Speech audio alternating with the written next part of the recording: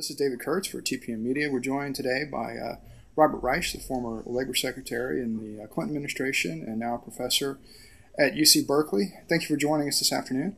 Well, thank you, David. How are you doing? I'm doing well, thank you. I wanted to, to jump right in and uh, ask you uh, to give us your take on this stimulus package that is currently pending before the Senate. As we talk, it's already come through the House.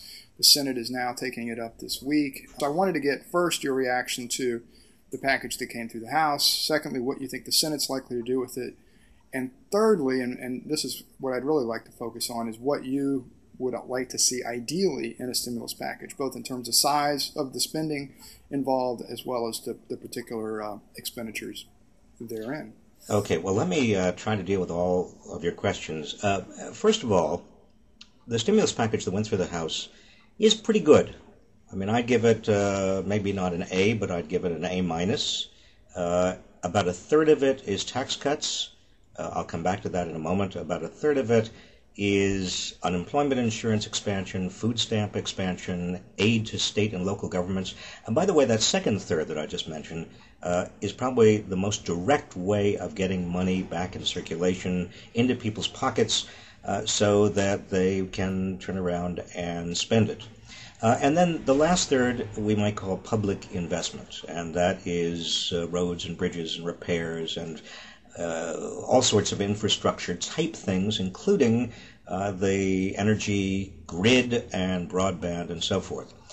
Now, here's the trade off with public investment, and this is where the Senate is going to be debating.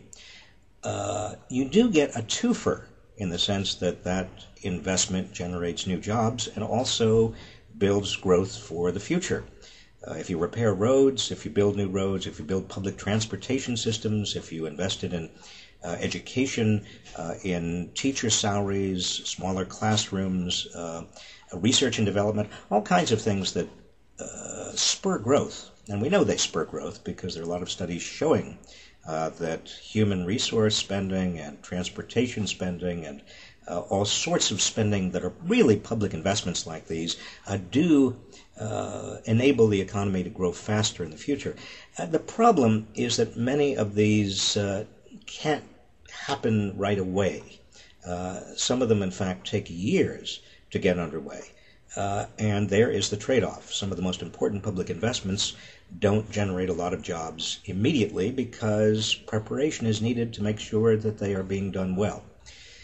Um, now, I've looked at the stimulus plan that came through the House. Uh, most of those public investments strike me as hitting that balance pretty well. Uh, but that's just my opinion. Uh, time really is of the essence here. Uh, every week that goes by, more people are unemployed or threatened with unemployment. The economy uh, drops further. Uh, this stimulus package needs to get out there as quickly as possible. Uh, and in my view, even at $820 billion, uh, it is probably too small.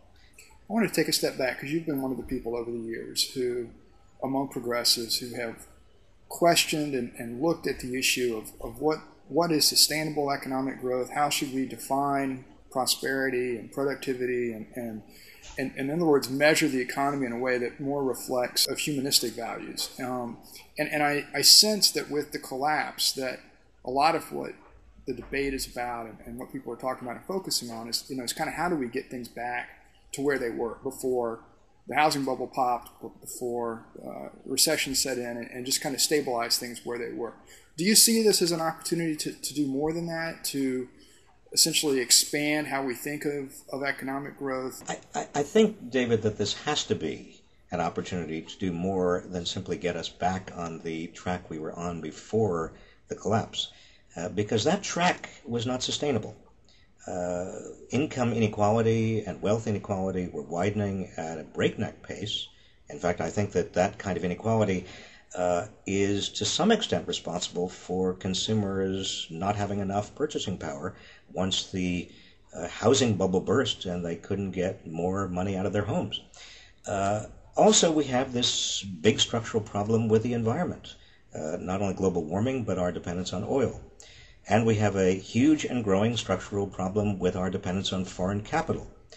Uh, and the list is actually quite long. If we don't use this as an opportunity uh, to uh, deal with these deeper structural issues, then even when the economy returns to what is perceived to be normal, uh, it really won't be normal. It will be a very, very uh, fragile economy. Uh, the next time there is any kind of a negative happening, a, a kind of uh, uh, something that triggers a downturn, the downturn, the downturn is likely to be even worse.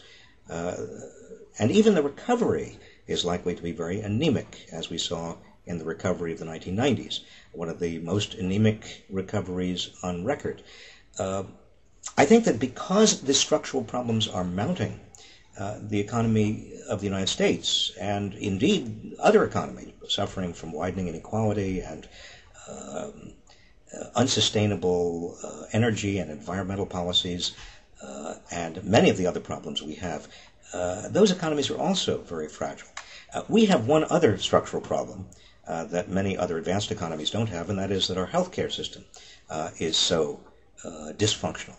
And here again, unless we use this opportunity to make it more functional, uh, we are just going to find ourselves uh, with a uh, an overall economy that uh, may be technically back on track, but if we don't really do much about the healthcare dysfunction, uh, that uh, track is going to be uh, filled with potholes, and it's going to eventually be so slippery we, we fall off the cliff again. not to uh, get too metaphoric about it. In other, words, um, there are some structural issues here that are so important, so big, uh, that uh, there really is no get, getting back on the old track. We, we certainly appreciate your time. This is uh, David Kurtz with Robert Reich. His latest book is uh, Super Capitalism, and it's just out in paperback. Again, thank you for your time. Well, thank you, David. Bye bye.